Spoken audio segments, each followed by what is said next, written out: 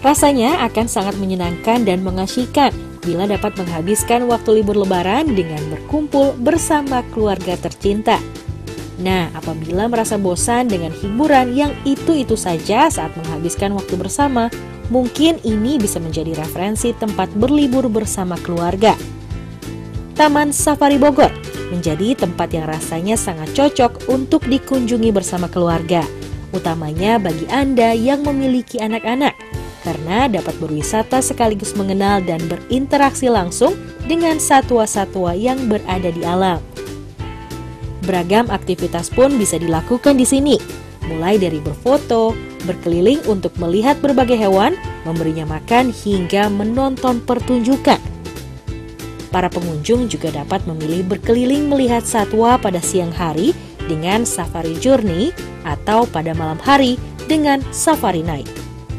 Tapi perlu diingat pada malam hari tidak bisa ya memberi makan satwa.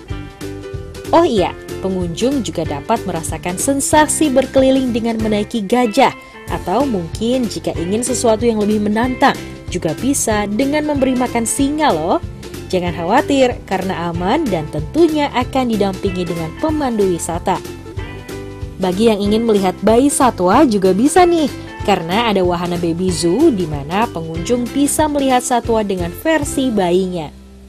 Harga tiket yang perlu Anda keluarkan untuk menikmati berbagai macam keseruan di Taman Safari mulai dari Rp265.000 per orang dan dapat dibeli secara daring ataupun secara langsung saat mengunjungi Taman Safari. Selain itu, Anda dapat menjajal keseruan fasilitas baru dari Taman Safari dengan menginap sekaligus berkeliling melihat satwa menggunakan bagi car terbuka atau staycation with buggy journey.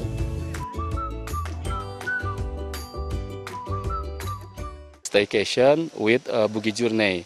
Nah, di mana uh, para tamu akan mendapatkan experience yang berbeda.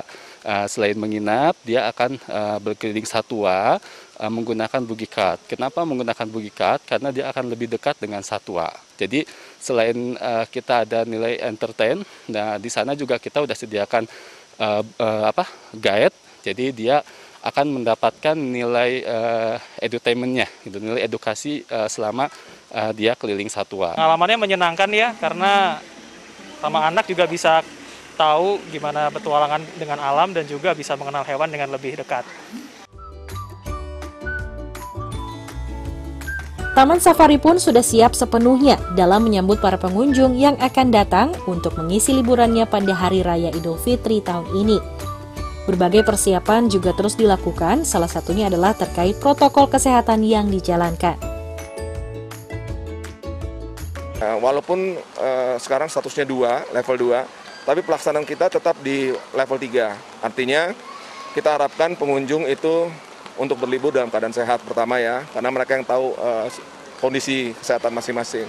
Yang kedua, memiliki peduli lindungi dan statusnya baik di, di peduli lindungi. Karena masuk sini tentu ada petugas kita di depan yang akan menanyakan. Para pengunjung pun diminta untuk menerapkan protokol kesehatan yang berlaku, seperti menjaga jarak, mencuci tangan, dan memakai masker agar menciptakan liburan menyenangkan dan nyaman. Dari Bogor, Jawa Barat, Putri Hanifa, Pradana Putra Tampi, Kantor Berita Antara, mewartakan.